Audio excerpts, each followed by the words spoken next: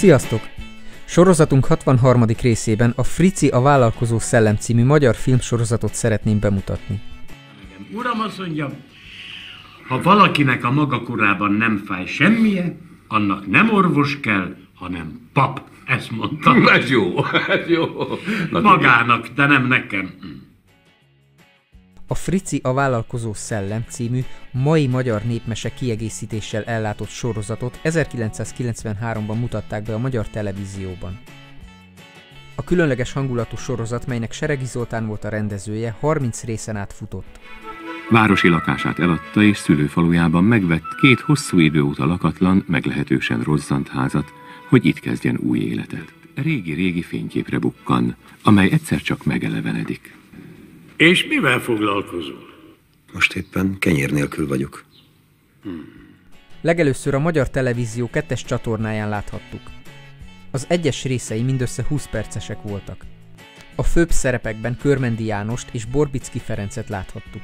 A film forgatókönyvét Szuhai Balázs, Szent Mihály Szabó Péter és Balázs József írták. A sorozatot az M3 Retro csatorna több alkalommal is ismételte. A jelenetek jelentős részét a Pest megyei Tatár Szentgyörgyön vették fel.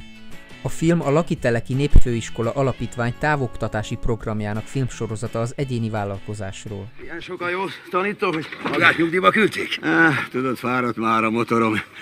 Össze-vissza ketyeg, rám fér egy kis pihenés. Nem olyannak ismertem, aki meg tudott vala hűlni a A fenek. történet szerint Gergely István három éve megözvegyült, kisfiát egyedül neveli. Amikor elveszíti az állását, hazaköltözik szülőfalujába, Pogány Szentgyörgyre, hogy pékséget nyisson.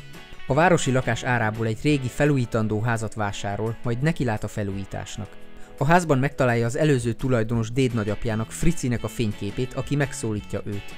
Fricit a szellemet Körmendi János alakítja. Frici ellátja tanácsokkal Istvánt, miképp tudja vállalkozását megvalósítani a rendszerváltás utáni Magyarországon.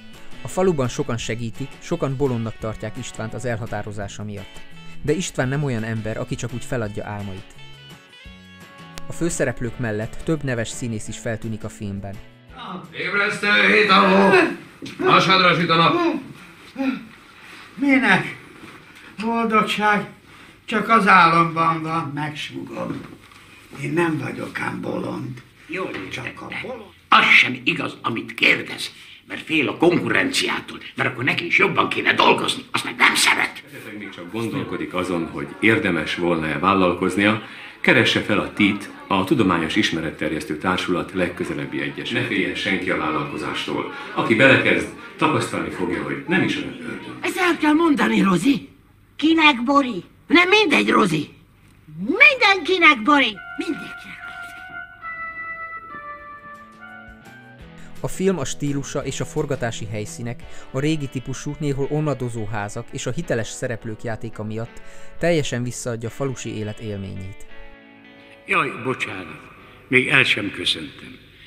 A legközelebbi viszontlátásig. Még találkozunk.